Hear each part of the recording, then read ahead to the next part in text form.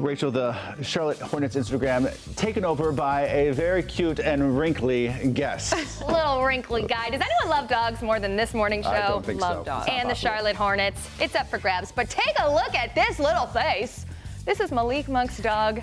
His name is Bear. He's a four-month-old Neo Mastiff, but here's the deal. He took over the Charlotte Hornets Instagram page yesterday, going through the locker room, the court. You can see him playing basketball. He says he's working on his defense. It's a work in progress. He's got a GoPro actually attached to his collar just to really document his whole day, everything in first person, of course. Some of the other videos we saw was him going in the locker room, playing with the other players. You can see he's checking out his dad's locker. And now people were chiming in on Instagram asking him all kinds of questions, including No. who his favorite Hornet was, other than Malik, of course. And he said Miles Bridges because Miles Bridges has his brother.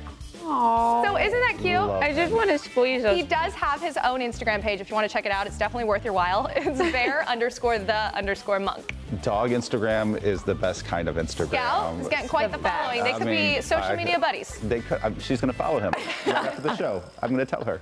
Great. All right, Rachel, thanks. I love it. Thank you.